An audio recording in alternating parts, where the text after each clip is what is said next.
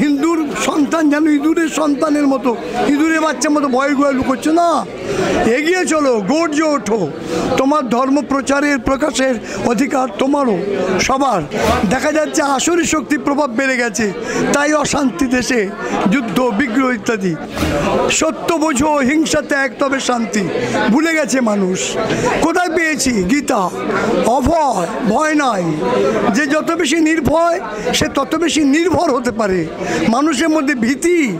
হিন্দুর সন্তান যেন ইঁদুরের সন্তানের মতো ইঁদুরের বাচ্চার মতো ভয় ভয় লুকোচ্ছে না। এগিয়ে চলো, গর্জে ওঠো। তোমার ধর্ম প্রচারের প্রকাশের অধিকার তোমারও, সবার।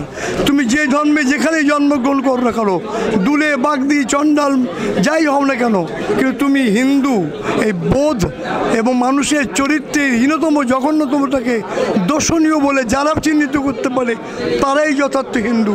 কাজে কাজে সেগুলো আসুক, আমাদের মধ্যে চেতনা ফিরে আসুক, ন অতিমানিতা, নাতিমানিতা একটা সদ্গুণ ছাব্বিশটি, তিনটে অধ্যায় ছাব্বিশটি দৈবিক গুণের কথা বলা হয়েছে। চতুর্থ শ্লোকটাতে আটটা অবগুণ আসরি শক্তি কথা বলা হয়েছে।